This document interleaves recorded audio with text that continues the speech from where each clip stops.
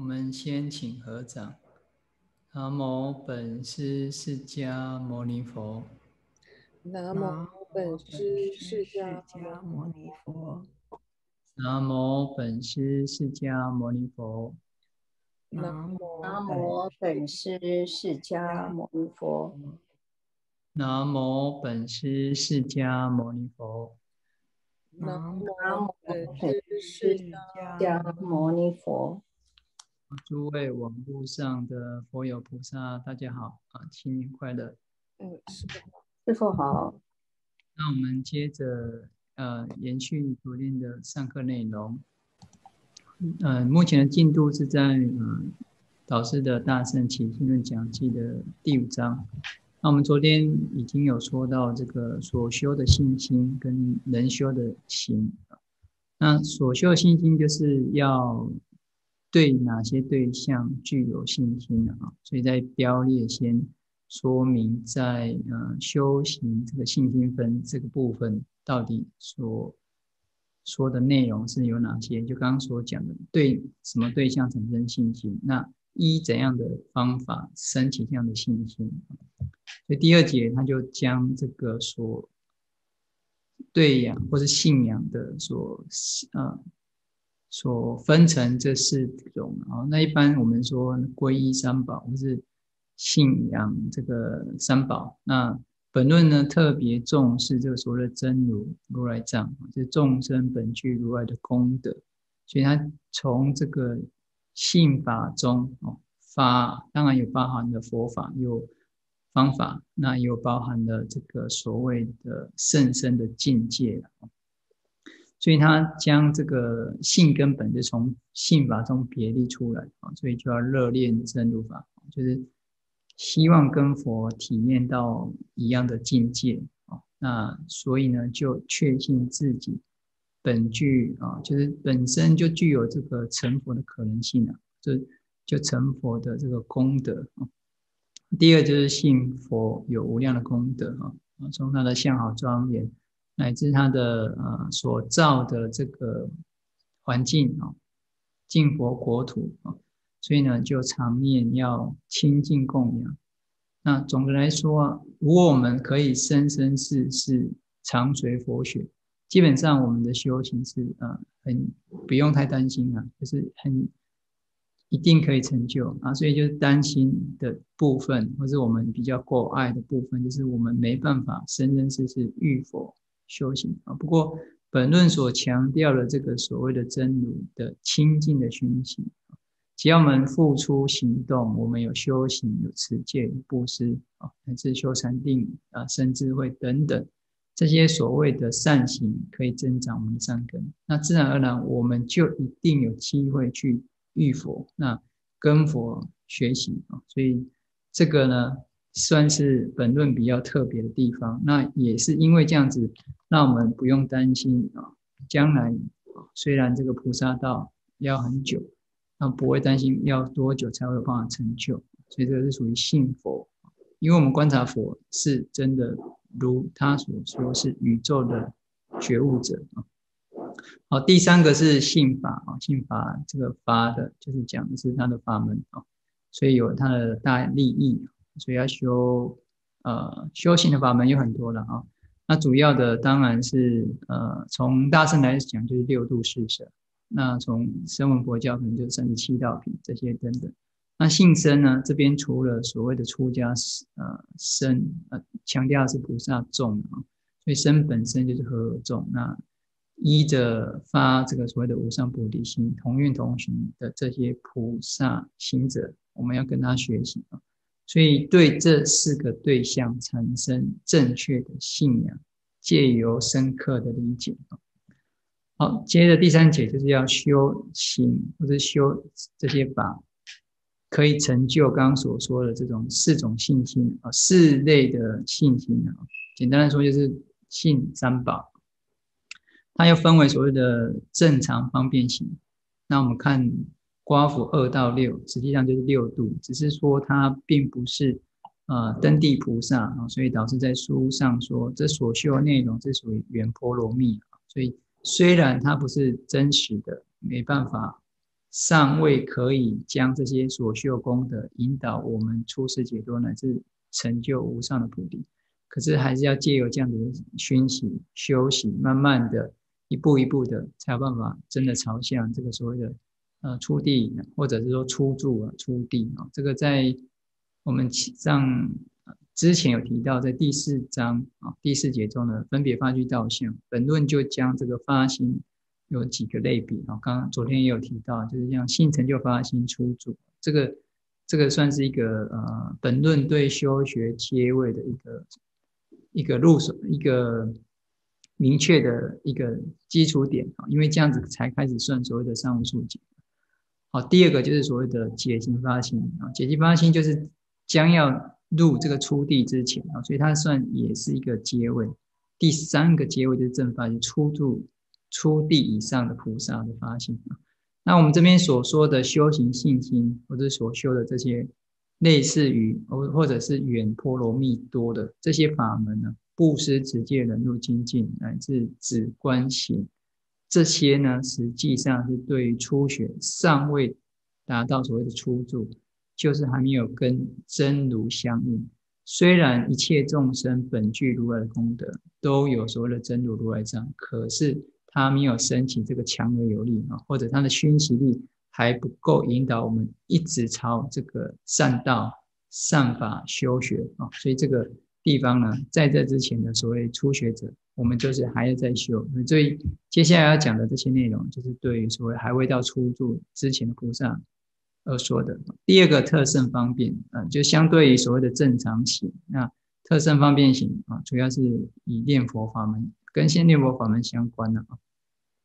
好，那我们昨天有稍微看了这个表啊，所以我们来稍微来看一下啊，就呃布施呢也讲的主要是财施、法施、无畏施啊。不过呃不管我们行哪类的布施呢啊，就是要自利利他，而且将所修功德回向菩提。那既然要回向菩提，我们就要观他无自性空啊。那持戒呢，它又分为两大两个类。两类的哈，第一个是供所谓的菩萨戒，那这个当然是在家出家都可以的，所谓十善法。第二个是出家菩萨所特有的戒法啊，就是为了降服出众的烦恼，也应该要远离热闹的地方，到极静处去休息，乃至对呃所获得的衣服、食物还有住的环境要啊少欲知足。另外的对佛所制的戒啊，轻重等持啊，不应轻戒哦，就或者他所违犯是比较小的罪啊，就没有防护或者是没有遵守，因为呃，如果小戒哦是轻罪不不维护或或没有持守的话，会造成会影响我们的心性的哈，所以我们到时候就会认为什么都没关系，到时候就违反重戒啊。另外的说明小罪或轻戒这个部分呢，就是除了佛所治的跟重罪，所谓的重罪是杀盗淫妄相关的啊，除了根本之外，接下来就是跟它相关的枝末的戒之外呢，这属于小罪的。那另外的就是要，呃，我要护念社会呃一般人的观感啊，所以佛就治了。那时候，印度所认为出家人不应该做的哈，就是属于积嫌的部分啊。这这这边是属于持戒，接着是属于忍辱。忍辱除了忍受他人的侵扰、危害之外，对于世间的法啊，这所谓的利衰毁誉这世间八法，也要忍受了哈。别人称赞我们，我们要观察是如他们所称赞的，具有这样的功德。如果没有，我们要精进修学。别人啊诽谤我们，或是说我们不好，我们要观察自己，我们是不是如他有说有这些过失啊？如有，我们就要改；如果没有呢，我们也要忍受他人的不同的观感啊。呃，每个人生活这个社会啊，所言所行啊，啊，不可能满大家的愿啊。我们看这个早期的经啊，就算是佛陀啊，也是有人。啊，对他产生不同的看法啊，有人要诬陷佛陀的啊，那在啊《大智度论》或《阿含经》里面有提到啊。呃，所以呢，就算是佛生存在这个世间，所谓的五浊恶世的世间啊，他也不可能每个人都信奉，乃至每个人都对佛产生好感的啊。所以，对于他人或者对于这个世间八法这种所谓的，不管是称赞或者是回谤啊，我们都应该要忍受。所以它分为两个，一个是属于啊众生的，就是对他人的直接打骂，或者是其他的像这个称赞啊，或者是为了自己的利益不择手段这些，我们都要种种的避免啊。好，那第五个是精进，精进又分为两个，是啊要修善啊，所以是勤修功德行。那第二个就是要治罪，就是要止恶的啊，所以。对于善事呢，心不要懈退，所以立志坚强，远离怯弱。好，那如果是自罪行呢，就是要知道我们过去有很多种啊种种的业障虽然感觉上是外在的邪魔啊，或是其他的鬼神来扰乱，实际上很多时候是因为我们个人啊过去式啊。我不知道诸位有没有听过这个一般宗教那个要。好像他可以记忆很久以前的事啊，所以啊，他们一般宗教都会说，哎，他去阎罗王那里申请了一个可以报仇的一个令旗啊，所以他可以到啊来找这个人。那当然这是不同宗教的诠释的啊。不过总的来说，为什么他有办法来危害我们？就是因为我们过去跟他产生不好的缘啊，所以这既有很多很多的因素呢，并不是单单的啊是。他人的关系很多是我们自己啊，所以这时候我们就要知道往昔所造种种的诸恶业啊，所以这边所讲的，如果我们修行有这些的障碍，比方啊很多病苦，或者是世间家庭工作很多事情，让我们没有时间可以安心，或者有空闲时间想要修学佛法也都没有时间啊，这时候我们就要。起这个忏悔心，那要做什么呢？就是六十礼拜诸佛，诚心的忏悔，劝请诸佛随喜啊。虽然也有人觉得，哎，佛现在没有注释啊，怎么有办法劝请诸佛？实际上，这个普贤十大行啊，十大愿行啊，它是这样的熏习啊。将来我们有机会遇到佛的话，我们自然而然就会做这些行为啊，就是请佛注释，请转法轮，乃至对。呃，一些善人所行的哦善行，我们都会心生随喜。那最后呢，所修的这些所谓的功德，都要回向菩提。菩提啊，就是圆满觉悟的意思啊。那之前有提到这个所谓的佛菩提，就是一切种子，那跟波罗实际上也是有相关的啊。那从旧定义来说，呃，一切都是空无自性啊，所以跟回向菩提实际上就是回向与成为作为回向，就是将我们心转向啊。比方我们本来朝向正前方嘛啊，有人叫我们就转到那个他他能叫我们那个方向，所以回向就是这种概念。我们所做的，比方我们在持布施的时候，我们的对象是啊这个受施者，乃至我们给他这个东西。那可是这些行为之后，我们要我们的心。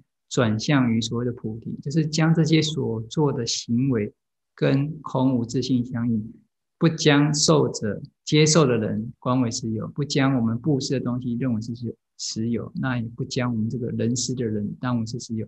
当下所得的这种新的清净，依这样子新的清净的力量，将它我们的作意啊，就将它作为所谓的。成佛的资粮，所以回向菩提就是作为成佛的资粮。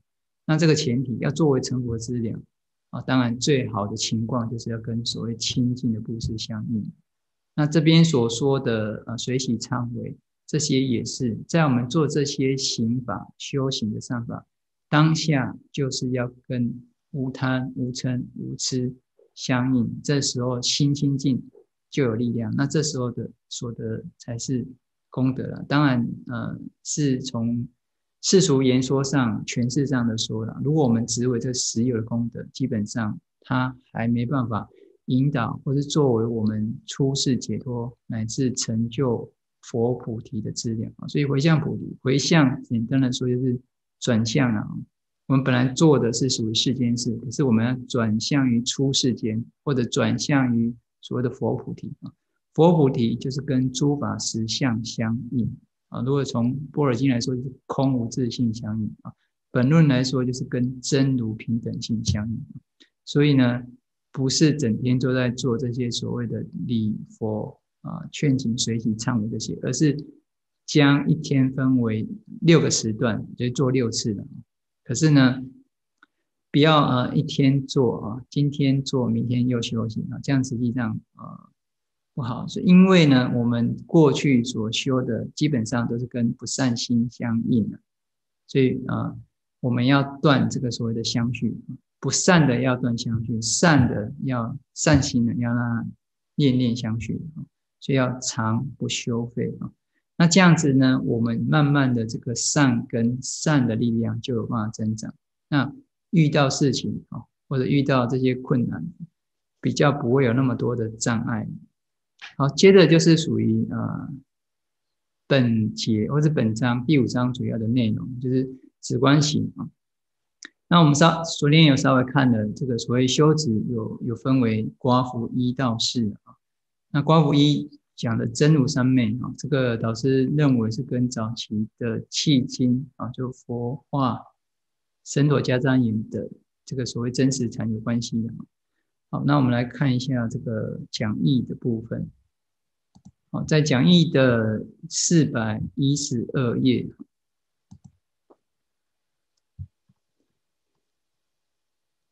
这边开始就是开始解释呃所谓的直观性。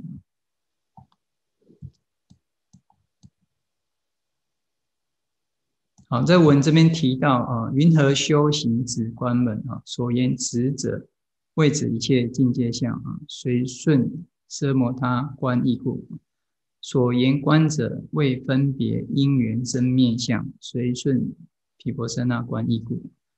云何随顺？以此恶意渐渐修行，不相舍离啊，双线兼顾，所以等于说他们是止观呐，一开始先修止，后来再修观，等纯熟的时候，熟练的时候是这两个是互相增长啊。指心安定的修观，观观的成就的时候，或者观力强的时候，又将这个心的品质安止力又提升了，所以止观是交互的啊。而且它不相舍离，这个叫随顺啊，跟我们前面在讲这个随顺啊，随顺这个真如法性那个随顺，呃，似乎是呃不太一样了啊。那这边另外要注意的就是，呃，这个所谓随顺奢摩他观义啊，老师后面有提到了这个在不同的译本，这样子奢摩他又观义，这个好像像这毗婆舍那观义，这个这个观好像是有点多余了哈。那这边要注意的。除此之外呢，就是指呢是指一切境界，那观呢它是分别生灭相，所以它的观跟可能跟不同的学派哦，就是中观或者唯识的强调的这个所谓的观会观这个无自性哦，或是呃随顺于圣意的观或空观这样的观呢，实际上是不太一样。那导师认为这个是属于本论。在初学者而言是偏重于指的缘故。好，那我们来看导师的解释呢？哈，先做语词的定义上，观就是思考、辨析、推求抉择啊。那指呢，就是将心呢安在一个所缘境上啊。那使心于一境宁定啊，就是让他精神注意力集中在一个一个对象上，而且心可以止掉种种的。想法或是妄想啊，所以不自散乱，所以不会散乱。散乱呢是呃欲界众生的特色的啊，散乱持求，持求就是啊向外的去追求啊，听到声音，我们自然而然就会想说，哎，到底是什么声音啊？像现在可能过年啊，到处都在放鞭炮，我们可能就会关一下啊，看一下，会听一下到底是什么声音。这是呃我们常有的这种。因为心的习惯就是如此嘛，那看到好看的外境也是如此，总是会想去看一下啊。那所以简单的说，本论的止呢，它就类似于所谓的九住心，就是一一个次第，等一下会说明的啊。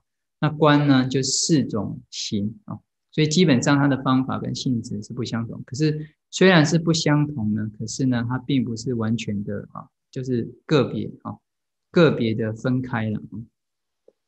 好，接着看在下一页四百一十四页，所以只是重在所谓的信心静啊，这种安定这种状态。那初修学的时候呢，刚开始修学的时候呢，必须要有一个啊，着落处就是一个依据的地方了，我们一般叫做所缘啊。那一的这样的境界，然后是我们就将我们心安住在所缘上，就可以慢慢的让我们的想法或是念头呢，慢慢的执行啊。这边有个譬喻，就像狗啊，就是绑在这个木木柱上啊，那一开始，活泼乱跳啊，跳跳去的，可是跳来跳去，动来动去也久了啊，所以它自然久了，它就累了就休息啊。这就比喻我们的心了啊！一开始呢，我们要安住在所缘上，或者是我们要专注这个所缘，一开始没有训练的时候很难，一下子又跑掉，一下子又想东想西，好，那可是呢，慢慢呢就可以将我们的心呢，好，这样子多次的训练就可以将我们的心呢安住在所缘上，或专注在所缘上。好，这是这是属于指的啊。那将心安住在所缘境上，有分所谓的世俗，好像。不净观这些等等啊，那也有将我们的心安于圣意的所谓如来啊真如境啊，这两个啊都是可以令心安止啊。那观也是如此，也可以分为世俗的，还有圣意。世世俗的啊，像啊刚讲的这个所谓不净观，或者是啊界分别观，这些都是啊。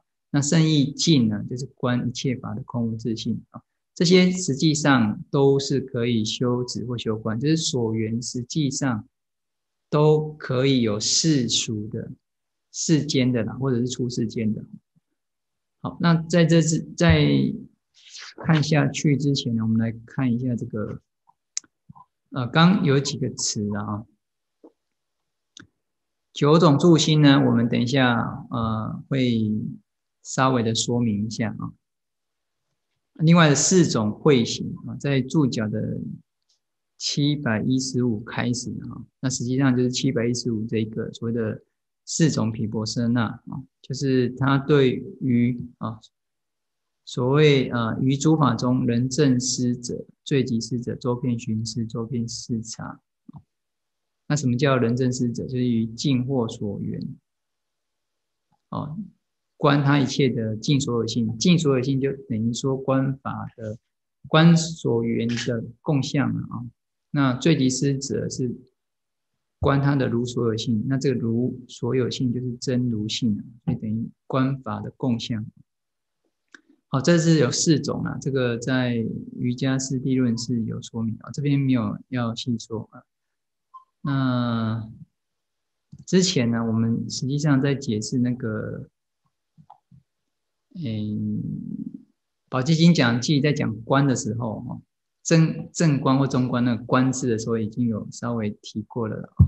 这边呢，在解释密经的分别一切品啊，这段我们也是一样。那下面这个解释实际上是依着呃呃那个演培法师的解释的啊。所以我们刚刚所看到这个正师者，他一样是说诸法的尽所有性。那那这边又分为所谓的进行善巧、静默所缘，这个几个词啊，这个等一下或者在我们的讲义的四百二十七页的注脚是有，不过我这边不打算细讲，就是稍微的说明啊，诸法的尽所有性那最极思者就是详细的思维抉择诸法的如所有性。那这边我所讲的是跟。诸法的共相真如性相关，周遍寻思是有会具行的分别作意普遍的寻求思维，周遍市场与所缘的种种形象，进一步的审慎的推求啊，如实的市场，那基本上这都是属于，也可以都是属于观啊，不过对所缘的作用上进一步的区别这四种。好，那本论所讲的观呢，后面有讲观时啊，上面之前有提到观意、观相、观用、观时，在观的时候，那边哦，我们到时候再来看啊。实际上跟这边所讲的四种会形，呃，是不是完全？或许导师是用这个词啊，哦。那这个四种会形在瑜伽师地论，就是我们刚刚所讲的这个正师者、最低师者啊这些内容。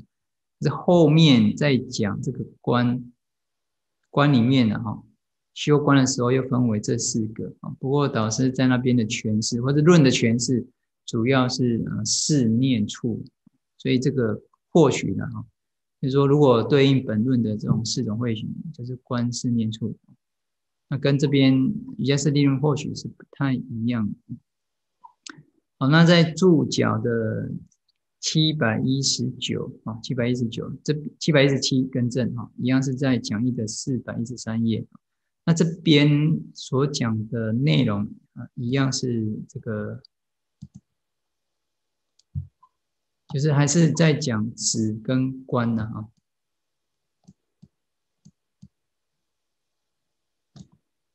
在观福一的卷三十，好，那这边就提到的什么叫？什么它啊？就是九种心住。那这九种心就是这边所讲的内住、等住、安住、静住、调顺、极静、最极极静、专注去，还有等持。等持就是定了啊。那四种慧行就是我们刚刚说的，这是属于修观的啊。好，观复二空之探究。那分别的说啊，修止什么？它可以得定修观毗婆舍那可以成就会啊。止就是住心一处，观是事理的观察。在修持上方法是不相同，但不是互不相关，而是相互相成，互可以相互的助成啊。所以这个跟我们本论说的止观双运是有关系的。好，那再接着看注脚的七百一十八啊，这边就是找了几个跟啊这边说狗绑住在啊绑在柱子上相关的说明，不同的经它的诠释上不一样。不过我们要看的是在刮胡山的啊，注注脚七百一十八刮胡山啊，在净土理禅中所提到的。我们的心是烦动散乱啊，或此或彼，就是我们不是想东就想西啊。那当然这是嗯简单的说，实际上我们的念头很快的啊，生灭很快。有时候我们没有注意的时候，已经不知道想到哪里去了，所以他没办法停啊。所以要给予一个对象啊，令他攀缘啊。攀缘就是将我们的心投向或是观察这个对象。啊，所以攀缘跟我们我们攀缘这个词啊，有时候在佛教上来讲有很多的意涵。不过这边所讲的修禅修中的攀缘，就是将我们心呢观察那个对象啊，那将心投向这个对象而依止它，慢慢的可以让我们的心安住啊。就像这个小狗东跑西撞的啊，这个闹久了，它自然就会停下来。那心也是如此的啊。所以呢，不但定由此而来，那修观修会也是要以念为必备条件。所以我这边给大家看，就说这个念字啊，所以念于佛法是蛮为啊，就是在佛法中修行上是蛮为重要。尤其本论啊，在讲这个义有五个啊，在第七义里面又分为所谓的业事、转世、现世。还有字是相续式，相续式中的所谓的练相续不断，也是本论比较特别的地方。它可以记忆过去，规划未来啊，应付现在的问题啊。所以这个念，虽然在啊俱舍论或其他论，它大概就是念呢的定义就是于缘啊，于所缘铭记不忘。不过本论对念的这个作用也是算是蛮特别啊，这边也是再次的调强调啊。所以，如果心可以离念，或者心有正念基本上这个才有办法跟真如法性相应。好，那接着我们就看一下，接着导师又进一步的，因一开始已经说，就是要稍微的区别一下了啊，说为什么本论的指跟无分别，或者是止于所谓的真如哦，是相关。那这样的修行方法，是不是是呃，导师接的就是对这个所谓的止跟观的修法，或者本论所偏重于初学修止的这个部分，他有一些不同的看法啊，所以他提出自己的观点呢。哦，本论所说的止观初方便有有所偏重。他是不了一说啊，就导致认为是如此的啊，因为它是指是什么？指是无分别，那是依着心真如而修。那观是什么？分别生灭因缘，哦，是分别实际上就观察嘛，啊，抉择分别。那观这个生灭的因缘相，实际上是依心的生灭起修啊。所以简单的说呢，指是随顺真如门，观是随顺生灭门。那刚或者后面也会再提到，说做的时候啊，行住坐卧的时候，做的时候专修止，专修止，这是本论会提到的哈。所以导师有一些有一些看法了哈。那其他的时候是不离修止而做观，啊，等于等于说做的时候比较强调要修止，可是他并没有强调修观的。所以本论的特色是偏重于止。那相对于其他的学派，像中观、瑜伽等啊，他认为解脱烦恼实际上要所谓的光慧。那这个所谓的光慧是要升起，或是要观察诸法的实相。那借由更深入的观察而生无漏智，才有办法体证所谓的无分别法性。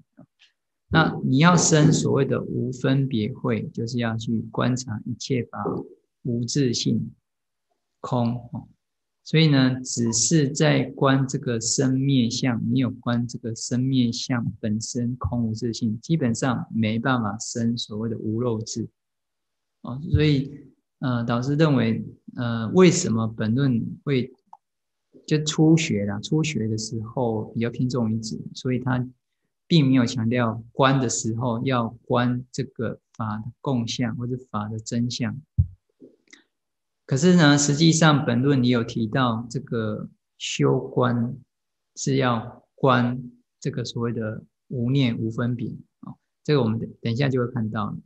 那所以中论啊、中观或瑜伽等说的这个这个在注脚的七百二十啊，那么有时间再回来看一下，这个之前有看过。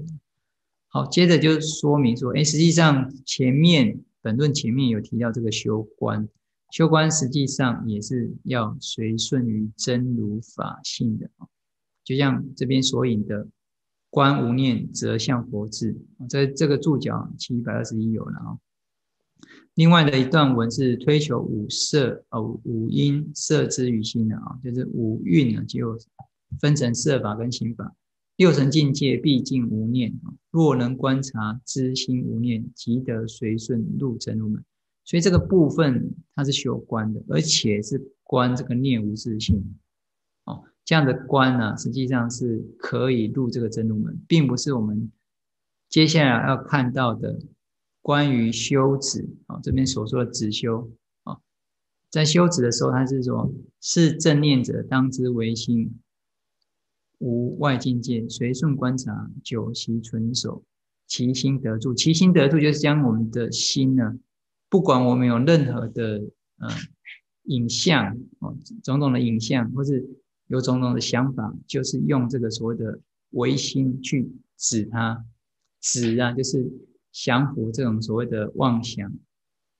可是它并不是去观这个所谓的呃妄想是无自性，或是它是空无自性啊。这样子呢，随顺得入真如上面，所以这段下面这段我是关于是修止的，上面是属于实际上可以是修观的。不过在第五章这个部分呢，大概多数是在说明啊，就是如果可以入真如的，或者随顺观察令心安止哦，这个部分大概是属于所谓的呃修止的部分。所以导师这接着又说嘛啊。虽然入真如门必须随顺观察，但在修习止观的分别中，把观局限在生灭，就观察生灭的因果相，而将这个圣意观啊摄于无分别之中。等于说，这个所谓的圣意观是在修止的的内容当中，并不是修观的。以为指一切境界相而不起分别，就成无分别。那当然，这样子所成的无分别，实际上并不是依观所得的无分别智，而是依止得的无分别定的哈，应该是这么说啊。所以做如此的说，不外乎是偏重于止啊，就导致对本论一开始说，虽然说指观双运，不过指跟观各有它的啊。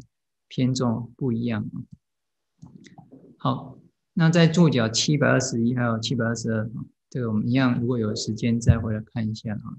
那这两段我实际上是在观呢，观这个像七百二十一这边是观察这个一开始在讲心的生住意面相，所以观察心念升起的生住意面相，而且都观它是无自性，或是这个所谓的。没有固定啊，或者他的念是无自性的，这样的随这样的观察是可以朝向这个圆满的智慧，就佛智前进的。好，那接着呢，我们来看下来，除了本论一开始修止观偏重于止之外呢，啊，相对于其他的啊教学的方式啊，老师这边就稍微的说明一下啊。第一个是禅宗啊，禅宗它是用所谓的话头。我说念佛的是谁，或是托死师的是谁？大概用这个话头去去，感觉上他是观呐，他们认为是观，实际上导师认为是属于死的，就是你只要任何的境界升起，就用这个所谓的念佛是谁去把它降服哦，那就将我们的心呢安在所谓的这个话头上，那感觉到啊，所以导师这边讲啊。这个叫觉了哈，觉觉啊，就是怎么熄灭种种的想法啊，移情也好，或念头也好，等到这个所谓的移情啊脱落的时候，三昧现前，就以为是开悟。不过导师认为，这个应该还是属于修止，因为他是用这个所谓的念头去降服，或者去去除种种的想法。等到都没有想法的时候，好像。很清楚明白的时候，就认为认为是开悟。不过，就是这就牵涉到所说的或者所体验的无分别，到底是由止所成就的，还是因修观所成就的？那因修观所成就的升起的，就是无分别智，那就可以体验或是证所谓的无分别法性。那如果用依止而成就的所谓无分别，那基本上还是属于定的。好，这个是属于禅宗的啊。那除了禅宗之外呢，念佛三昧也是一种，就是将佛号或是将这个我们的念头呢，用佛号来取代嘛。我们很多很多种想法，很多种呃想的很多，可是我们就用佛号去将这些念头念头各个的取代。佛号是清净的啊，所以这边讲以一念以净念来绝种种的杂染或虚妄分别念啊。那如果我们这样的清净念，或是将我们的符号呢，一个一个的完全的到一心不乱，这时候就是念佛三昧。基本上这个还是属于啊修止啊，所以这个呢就是令心止息妄想得的无分别。那从刚刚有提到其他的学派来说，它是不能断分的，因为是修止所得的分别。那这个是共世间的啊，只要三昧就是定升起的时候。我们体验到了境界，有所谓的空、明、乐啊，这种修行所得的这种功德啊。那有的不分别或是没有注意的话，就会认为这个是所谓的积极心性，就是很宁静、很清楚的这种智慧的体验啊，会悟。实际上，这个就是要进一步的区别啊，这到底是由修止所得的无分别，还是由修观所得的无分别？那在禅定当中，共世间的禅定，像中间禅无形有事，或者二禅的无形无事，无形无事，因为没有这个寻寻视这种作用啊。等一下看一下注脚，寻就是呃粗的分别，事就是细的分别，无形无事基本上没有的话，我们内在自我的对话那种语言也没有了，所以内在就会感觉清净啊。啊，导师就解释嘛，哈，什么内冷静就是无分别而静心呈现，就心很宁静的状态。二禅的无寻无事就有这样的状态，那三禅更是如此。所以正念正知啊，当下一定是很宁静又很清楚明了的。好，稍微来看一下这个注脚的七百二十八啊。好，先看看看一下这个本文啊。所以呢，简单的说，本论的正义呢是随顺真如的无念，那要从唯心无尽，还有净空心极的观，哦，这是一个是要观与指一切境界的指哦。那随顺双运才能成就。前面有提到了啦，这个无念就是要观这个所谓念呢，哦，是无自性。或者是在修行的过程，先用心来前进，最后达到这个静心具，啊，心空、心静具明的这种状态。那这是一这个是属于观的了。那导师认为这个应该是应该是本论应该要强调的啊。可是呢，在初学的方便中啊，它还是侧重于止，因为我们等一下会看到，我刚刚有提到了修观，就是观察生灭因缘相，生命因缘相是落入于世俗所以呢，如果初学者举例这个所谓的初学初方便的偏重啊，以这个止或禅那是无分别，可以断或证真如的话哦，这样子就是误会了哈。所以不要用这样子去认为。本论是依着只得到无分别而断烦恼，实际上还是一样，还要是修观呢。好，那在这之前，我们来看一下这个注脚的七百一十七七百二十八哈。那在注脚栏四百一十九这边，这边就是要说明这个无分别大概有几种状况。这个我或许我们之前也有看过啊，在观湖山啊，沉默之道这边啊，好，中间禅啊，就是刚有提到无寻有事嘛，哈，到第二禅的时候是连细分别就没有了啊，所以就是无寻无事啊。那到这个境界呢，它不会引发语言，就内在的自己对话那种语言也没有了了哈。那到第三禅就直觉内心平等清净那这是共外道的。不要以为心无分别就是正德的心体本净，就等于说体身无漏智而体验实相啊，实际上不是啊，这样子是依着修止得到的无分别啊，这个实际上共世间法啊。那如果从共世间来说，二禅以上就有可可以体验这个超越寻思的无分别定，好，这个是。第一个要先确定，就是我们所修的方法，或是所体验到的所谓无分别的状态，到底是依着止而成就呢，还是依着观而成就啊？好，接着是刮胡式啊，那这个就是我们刚本论本文上所提到的三昧现前有所谓的空明跟乐这种所谓的功德了啊，导致在沉默之道这边所讲的就是。明就是明显的，那空我就认为就是无，就是本文所说的空，就是这边所说的无分别。还有第三个是啊微妙的安清安乐啊，那明显是什么？就是心很明净，那所缘一在心中显现也很清楚啊，所以等于说你心是很清楚，你观的所缘是清楚明白的啊，你不是说不清楚你的所缘，或者你的所缘不是很清楚。很很明显的话，这时候你说得定，实际上呢，并非如此的啊。好，第二个是无分别，那无分别是心自然而然的去专注所缘，而且是对所缘是了了分明啊，不用特别的作意啊，所以那时候的心境就像沉静如波平浪静的大海一样啊。好，所以这样子的境界当中，又微妙的身心清安啊，那是因为离恶行善啊，非常有力啊，又很自然啊。那这时候就不像所谓的逆水行舟那样的费力，你又觉得很很自在，很不费力哈。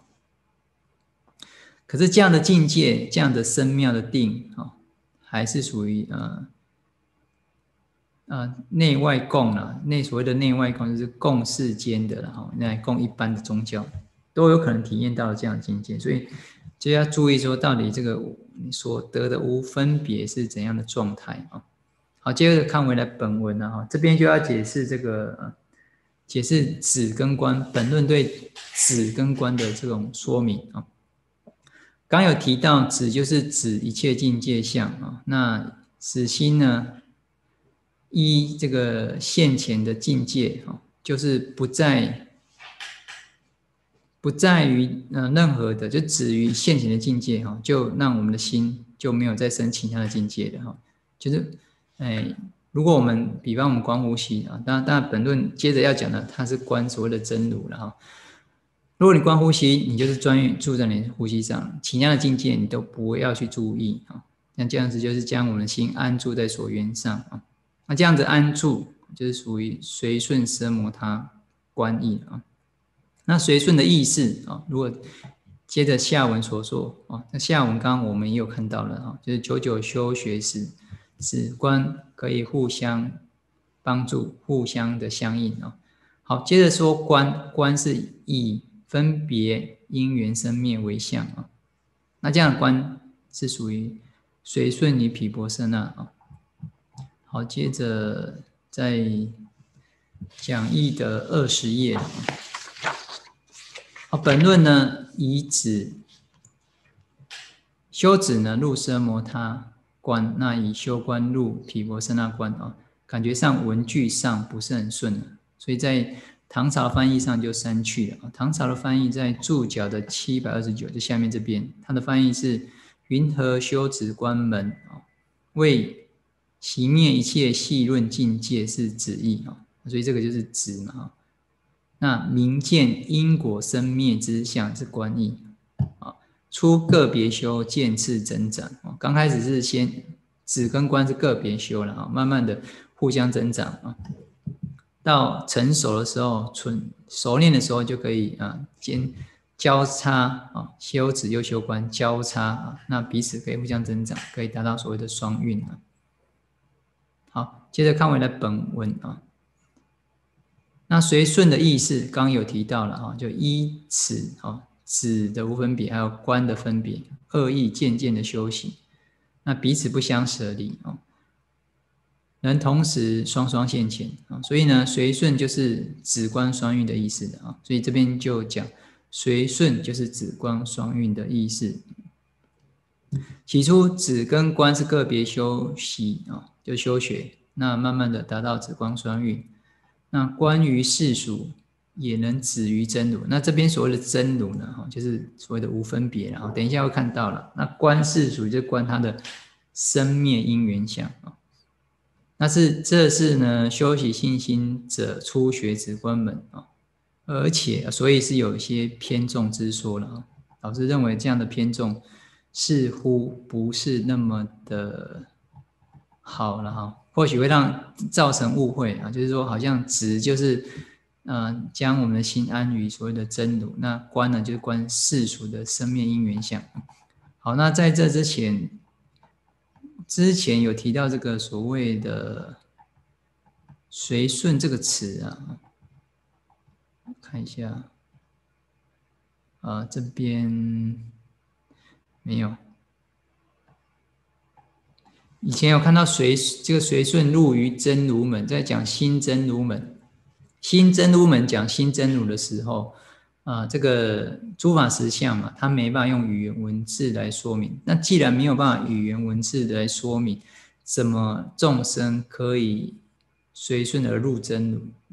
那那时候在讲新真如的时候，那时候的随顺，实际上就是观呐，这个虽有。虽无人说所说了啊，啊，虽念亦无有人念所念啊，虽说无有人说所说，虽念亦无无有人念所念，这样子的观察叫做随顺啊。所以，呃，这个呢，就是跟我们这边所说的随顺是指观双运的意思是似乎是不一样的啊。所以这边是稍微说明啊，就是呃，要看看那个文脉啊。好，另外的就是刚刚讲说中观还有瑜伽或是唯识，他们怎么说明这个所谓的，诶无分别观或是这种圣意观呢？圣意观才有办法得断烦恼这个部分啊，在讲义的四百一十九，哎，更正一下哈，在前面我们来稍微看一下，这之前也有看过了啊。在四百一十五，四百一十五。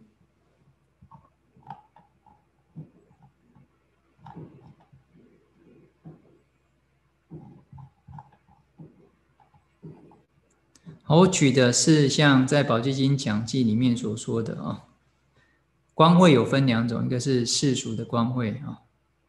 我们我们在本文上啊，就是《起心论讲记》。的本文上有提，导师有刚刚有提到，就观有可以观以世俗为所缘，或者以圣意为所缘。至于这边就提到了了啊。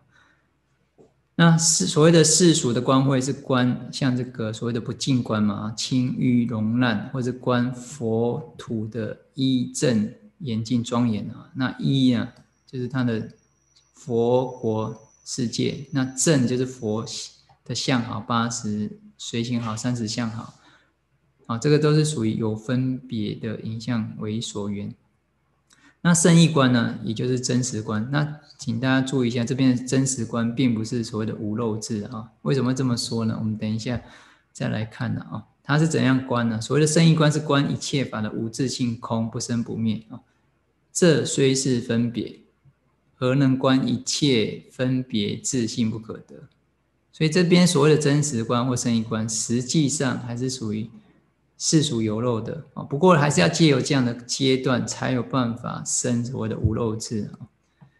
所以这样的分别观是顺于生意，是分别而可以破分别啊。那经论中就有所谓的以生止生啊，就像下课了啊，大家说话，老师要上课就说好，开始不要说话，那大家是不是停了嘛？